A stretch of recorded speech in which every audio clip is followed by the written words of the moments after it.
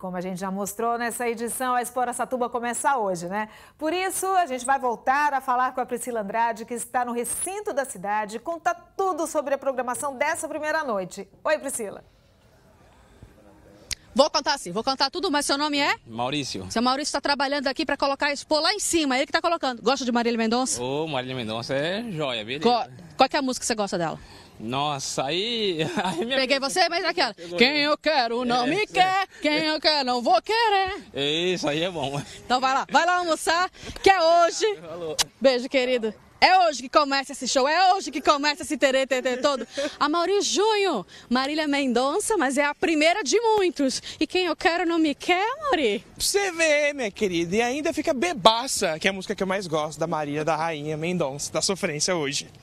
Os portões abrem que horas? O show começa às 11h30, mas vai ter surpresa nesse meio tempo? Vai ter surpresa toda hora. As informações de portões, ingressos, você pode tudo pelo site ou pelo Facebook da Expo. Porque às vezes eu dou uma informação aqui, aí muda, aí eu não consigo te falar certinho. Então, tudo pelo site que tá tudo certinho lá.